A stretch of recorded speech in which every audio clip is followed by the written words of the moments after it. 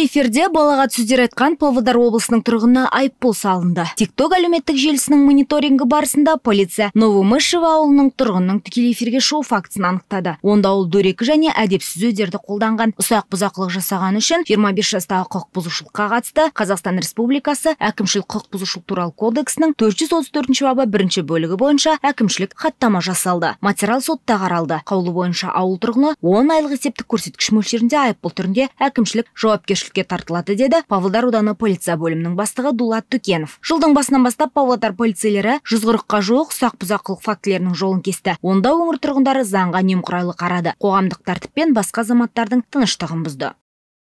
Қызылордада тонау фактісі бейнебақылау камераларына түсіп қалған. Полиция басқармасына 34 жастағы қала тұрғыны арызданған. Белгілі болғандай 14 ақпан күні сағат алты жарымның шамасында қала аумағында кафелердің бірінде жанына бейтаныс азамат қоңырау шалу үшін ұялы телефон сұрап алып оқиға орнынан қашып кеткен полиция қызметкерлерімен 19 жастағы қала тұрғыны ұсталды. Ұялы телефон тәркіленіп заңды иесіне қайтарылды. Аталған дерекке қатысты қазақстан республикасы қылмыстық кодексінің 191 бабының бірінші бөлігімен тонау сотқа дейінгі тергеп тексеру тексеру әрекеттері жүргізіліп жатыр. Күдіктіге қатысты ешқайда кетпеу және тиісті мінез құлық туралы қолхат түрінде бұлтартпау шарасы таңдалды.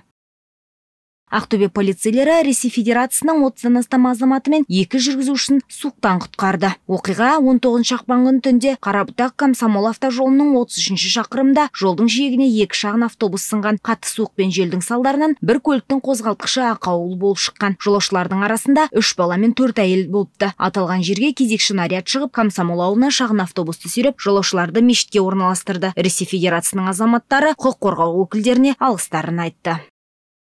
Жамбыл облысында дүкен тонаған алматылық тұрғындар қолға түсті.